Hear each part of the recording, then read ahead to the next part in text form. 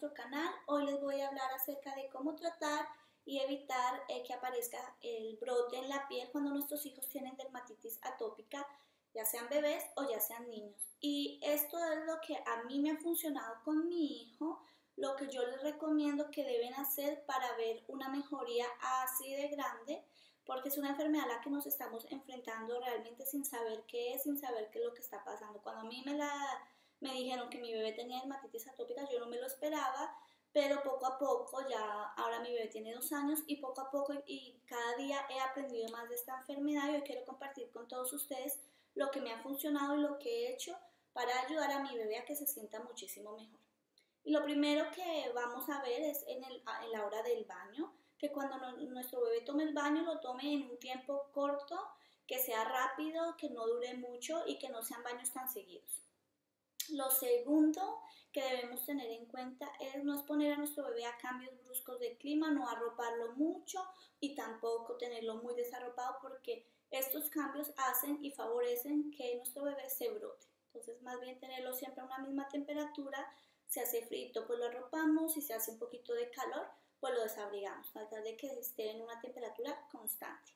Eh, lo tercero es que debemos comprar y utilizar productos aptos para pieles atópicas para nuestros bebés y en mi caso eh, tengo este que ya he probado varios, pero el que le ha funcionado a mi bebé ha sido este. No sé si eh, a la hora que ustedes empiecen a comprar en la farmacia van viendo qué producto se adapta o no mejor a la piel atópica de sus bebés.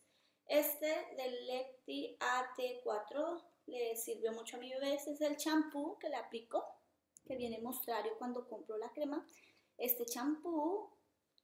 Tengo también el gel de baño para pieles sensibles. Y esta leche corporal Body Meal, emoliente protector, rápida absorción para pieles atópicas también. Y con este lo que debemos hacer si nuestro bebé está cursando en un momento en que está muy, muy brotado y que el brote está fuerte, debemos aplicárselo una o dos veces al día por la mañana y por la noche a manera de, de masaje, de masaje corporal, donde se lo vamos aplicando por todo el cuerpo y hasta que se absorba, después de que eh, se haya absorbido, le vamos a poner su ropa nuevamente. Dos veces por la mañana y por la noche si está en un momento en que lo tiene muy grave y una vez si ves que no lo tiene, pero que no lo tenga no quiere decir que no le va a salir. Así que lo mejor que puedes hacer es aplicarlo y evitar que le aparezca. No esperemos hasta que le salga, entonces empecemos el tratamiento, sino esto debe ser una rutina diaria, que se lo vas a ir aplicando cada día para que evites. Entonces, eh, está muy bien, le sirve mucho a mi bebé. Otra cosa que no debemos hacer es aplicarle a nuestro bebé perfumes o colonias, ya sea en su cabeza, ya sea en su cuerpo, en su ropa, porque esto favorece muchísimo a que se brote. Entonces lo mejor es que cero perfumes, cero colonias y que su olor natural de por sí es, es muy, muy rico. Un bebé huele delicioso, así que no hace falta que le pongas todo esto. También para ayudar y favorecer a nuestro bebé va a ser que toda su ropa la vamos a meter en una canasta o en un cesto especial donde va a ir la ropa de nuestro bebé que no la vamos a mezclar con ropa de adultos. Recuerda que nosotros como adultos salimos, vamos a la calle, vamos al trabajo, estamos en contacto con diferentes personas y si vamos a lavar la ropa de nosotros con la ropa de nuestro bebé o a mezclarla en el momento en que está sucia, esto puede conllevar que esas bacterias pasen a la ropa de nuestro bebé. Entonces lo mejor es lavarla, eh, primero ponerla sola en el cesto, luego lavarla también sola y lo que vamos a hacer es lavar la mano. Los productos que vamos a utilizar van a ser eh, jabón o detergente especial y apto para ropa de bebé y no le vamos a aplicar suavizante. Entonces la vamos a lavar eh, con un poquito de detergente y luego la vamos a enjuagar con abundante agua, cosa que el detergente y los restos que hayan podido quedar se hayan eliminado.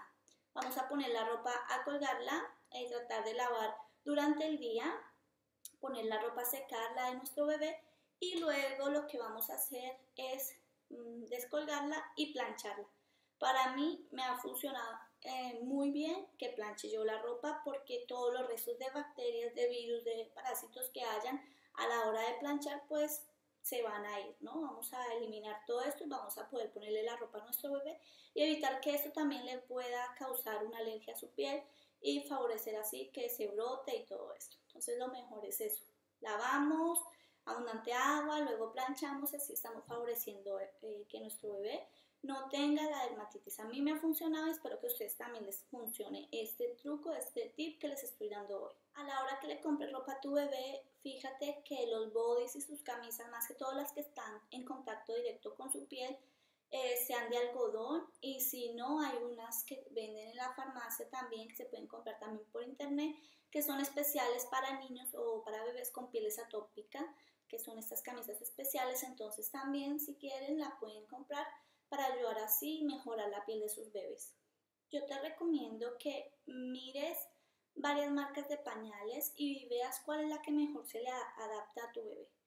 Yo probé tres marcas diferentes y una es la que mejor le funcionó porque tú sabes que esta parte, que a la hora de que le ponemos el pañal a nuestro hijo, esta parte, estas, estos elásticos que trae el pañal, que van ahí, le aprietan y en toda esa zona que va a ir este elástico le va a empezar a brotar a tu bebé y hacer que se le complique la dermatitis atópica. Más que todo en el área del pañal es donde vas a ver que la dermatitis se le va a poner de una manera impresionante. ¿Por qué? Porque esta parte de atrás del pañal, esta parte de atrás, le está apretando y está siempre en contacto así con su piel, ¿no? Entonces, la parte que choca con esto es la que más va a verse brotada, la parte de acá y la parte de que como aquí está siempre húmedo, tiene el pañal, hace pipí, hace caca. Entonces lo que vamos a tratar de hacer es, primero, mantener un cambio de pañales constante. Segundo, que tratemos de que cuando el bebé haga caca lo cambiemos inmediatamente, que no dure mucho con, con la caca en su culito, porque entonces se va a empezar a brotar, a poner rojo esta zona y a quemarse. Las quemaduras, si dejamos que avancen, van a ser dolorosas para nuestro bebé, que vamos a, verlo llorar, que solo con tocarlo él se va a poner a llorar, que le va a picar, que va a estar así rascándose, si ya está un poquito más grandecito que lo vamos a ver. Entonces, si le ponemos body, eh, evitamos que se esté levantando para rascarse, que es una de las cosas. Y dos, si le ponemos body, también le va a sujetar acá. Y tres, que si le mantenemos un cambio de pañal constante, vamos a ayudar a evitar que este brote vaya a más. Vamos a tener varias cremas que también les recomiendo para el cambio del pañal, para ayudar a nuestro bebé. Una de las que yo tengo es esta de Johnson, que cuando no está muy brotado se la pongo, le hidrata, le ayuda. Otra que tengo es esta, mitosil, que también le ayuda bastante. Pero la que cuando ya el, niño debemos ver varias cremas, ¿por qué? Porque cuando ya llega el momento en que el, el bebé tiene muy, muy, muy quemado y muy, muy brotado por la dermatitis, tenemos que utilizar una crema que sea la que mejor le va y la que mejor le va a ayudar cuando él ya está irritado, quemado y que no aguanta más. Y la que yo uso es esta de Aven, Cicalfate, la que mejor le ayuda a mejorar eh, el área quemada, el área brotada de mi bebé. Es que es para piel sensible. Entonces, pues, es la que mejor le va. Trato de no utilizarla mucho, sino utilizar estas que son más baratas, más económicas. Se las utilizo al diario para evitar, pero si llega el momento en que ya no puede más, pues entonces utilizo esta. Entonces por eso les recomiendo que prueben con varias cremas y van a ir viendo cuál es la que más le favorece a su bebé y cuáles no. Cuando ya está muy brotado le mandan esta, esta crema, 1%, y solamente las, te lavas muy bien las manos y la untas un poquito y la vas a poner sobre la zona afectada de la piel de tu bebé, solamente para ayudar a mejorar. Entonces, esta hidrocortisona le ha funcionado también a mi bebé cuando llega el momento en que ninguna, ninguna, ninguna de las cremas le ha funcionado, que ya está supremamente quemado supremamente mal, esta le ha funcionado. Entonces, pregúntale a tu médico, al pediatra de tu bebé o al dermatólogo de tu bebé que está llevando el, el tratamiento, la enfermedad y todo esto, para que te diga si esta o otro medicamento que te pueda recetar que le ayude a tu bebé a sentirse muchísimo mejor. Recuerda que debes también comprar las toallitas de tu bebé que sean especiales. Yo por ejemplo compro estas Super Soft Baby Wipes que dice que son con un pH balanceado y para pieles delicadas. Entonces, trata de mirar que las toallitas sean para pieles sensibles, si no tienen perfume, si no tienen alcohol, que sean lo más naturales que puedas para ayudar y favorecer la piel de tu bebé que no se brote y que no vaya a tener esa reacción alérgica. Otra cosa que debemos hacer es mantener una rutina de limpieza amplia en nuestra casa ya sea porque tengamos un animal, debemos mantener todo limpio, o sencillamente porque nuestro bebé ya está un poquito más grande, ya empieza a sentarse, ya empieza a gatear, ya empieza a tocar el suelo y debemos tratar de mantener nuestra casa limpia. ¿Qué hago yo y qué hacía cuando mi bebé era más pequeño? Lo, cuando estaba durmiendo lo dejaba en la habitación en su cunita y empezaba a limpiar eh, la sala, el comedor, porque a la hora de barrer estamos levantando mucho polvo y este polvo también hace que nuestro bebé se enferme, este es alérgico al polvo.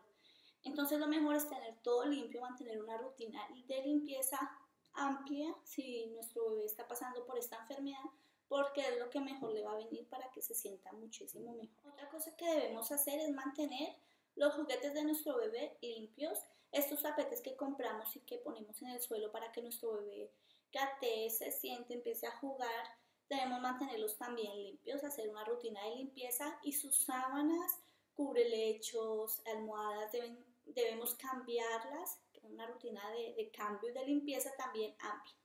Yo, por ejemplo, le cambiaba a mi bebé cada dos días sus sábanas para evitar el brote también. Las lavaba, las planchaba y las iba, iba recambiando. Entonces, esta rutina de mantener sus cosas limpias es lo mejor que podemos hacer, sus juguetes y todo, porque ellos, sus manitos, cuando son pequeñitos, se les brotan, es porque empiezan a coger o la comida o los objetos, entonces se les brotan mucho. Y cuando se los empiezan a meter a la boca, toda esta zona se les brota y todo, aquí esta parte de abajo también. Entonces, si tenemos un mayor control de la higiene, pues vamos a evitar que esto pueda suceder. Otro, otro consejo otro consejo que les doy es mantener sus uñitas cortadas porque esta, esta... Otro consejo que les doy es mantener las uñas de nuestro bebé lo más cortas posible, lo más cortitas que podamos. Y es porque nuestro bebé eh, eh, empieza a tener comezón y picores y es que no se aguanta. Entonces, uno, que le pongas body para evitar que se rasque y dos, que le tenga las uñitas cortas porque cuando se empieza a rascar y a tocar otra zona, pues le va a ir apareciendo la, el brote. Si se rascó aquí, se lo pasa aquí, se lo pasa aquí. Entonces, si mantenemos las uñas cortas, vamos a evitar que se esté rascando y que se esté pasando el brote de un lado a otro. Otro consejo que te doy es que cuando tú viajes, salgas de tu casa, ya sea un viaje corto y estés cerca, pero que también puedes realizar un viaje largo, lleves contigo todos los productos de tu bebé, las cremas, los geles, el champú, todo porque eh, el cambio de clima, el cambio de país, el cambio de un lugar a otro, no sé por qué, pero favorece a que nuestro bebé se brote.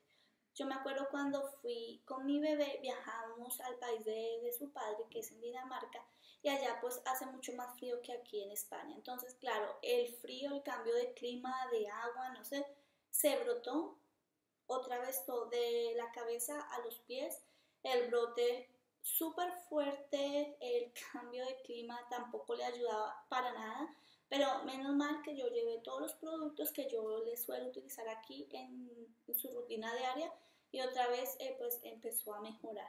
Lleva también contigo los papeles médicos de tu bebé y si viajas a un país que no te cubre el seguro, contrata un seguro médico de viaje cosa que si se enferma y lo necesita, pues puedas acudir al pediatra o a un dermatólogo a que lo mire. Si vemos que a pesar de todos esos cuidados que hemos tenido, nuestro bebé no mejora, que sigue empeorando, que se sigue rascando, que se le sigue descarapelando su piel, que se le ve rojo como en carne viva y que va creciendo cada día el brote que si empezó pequeñito y va creciendo y cambiando de forma y creciendo, lo mejor es que pides cita con el pediatra tu bebé o directamente con un dermatólogo y que trates de pedir, de, primero de decirlo lo que estás haciendo en casa y todos los cuidados que estás teniendo.